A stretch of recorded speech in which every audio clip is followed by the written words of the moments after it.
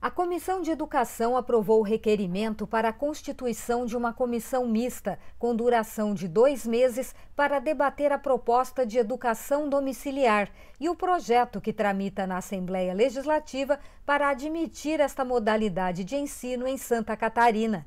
O colegiado deverá contar com deputados das comissões de defesa dos direitos da criança e do adolescente, de legislação participativa e da educação, que terá dois representantes já escolhidos. Serão a autora do requerimento, deputada Ana Campanholo, e a presidente da Comissão de Educação, deputada Luciane Carminati, que durante a reunião apresentou outro requerimento também aprovado para a realização em maio de uma audiência pública que vai tratar do tema antes de submeter o projeto do deputado Bruno Souza à votação.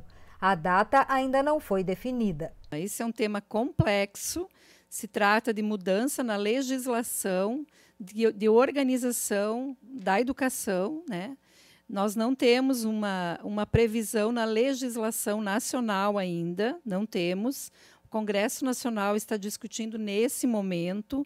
No entanto, nós vamos pautar esse tema na comissão. Também foi aprovada a realização de duas outras audiências públicas, ainda sem data definida. Uma delas deverá tratar da disciplina de História e Cultura Afro-Brasileira e Indígena prevista no currículo da educação básica. O outro debate vai avaliar a qualidade da educação em tempos de pandemia em Santa Catarina.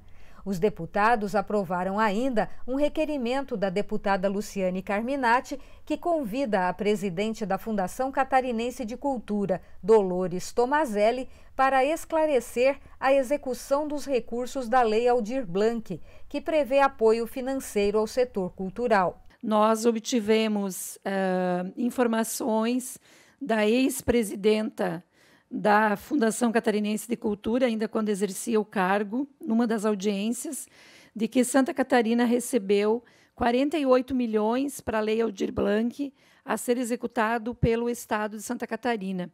Só foram utilizados 18 milhões. Então, nós temos para o setor cultural ainda 30 milhões. É muito dinheiro. E eu acredito, deputados e deputadas, que todos estão acompanhando o sofrimento do setor cultural nesta pandemia. Então, é urgente que a Fundação tenha um planejamento imediato para a execução desse recurso.